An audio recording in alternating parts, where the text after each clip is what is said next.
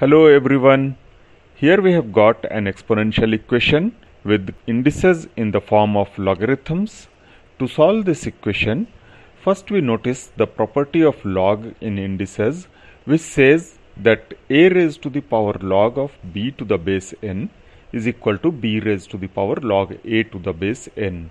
Using this property, we can represent 5 raised to the power log x as being equal to x raised to the power log 5. So, in the given equation, we replace x raised to the power log 5 by 5 raised to the power log x and the equivalent equation becomes 5 raised to the power log x is equal to 50 minus 5 raised to the power log x. Bringing 5 raised to the power log x on the left hand side we get 2 into 5 raised to the power log x is equal to 50.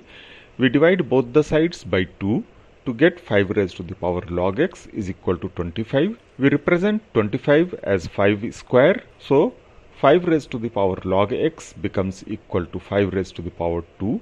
Since the bases are equal, the indices also must be equal which makes log x to be equal to 2 or x becomes equal to 10 raised to the power 2 from the definition of log or x simply becomes equal to 100.